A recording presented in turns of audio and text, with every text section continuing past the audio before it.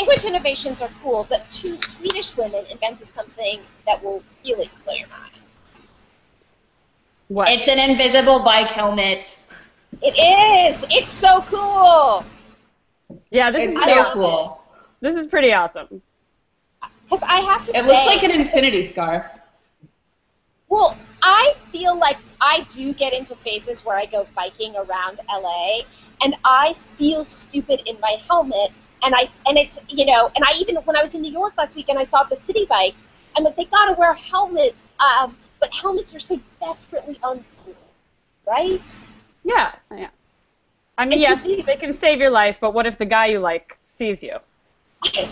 And they mess up your hair. Exactly.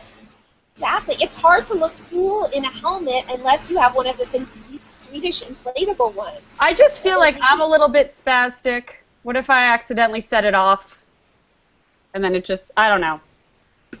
I don't know about Yeah, well, and it's also 400. It's 400 euros, which I feel like is a bit. Um, I don't know. That dissuades me a little bit. I don't know. How much would you guys pay for this?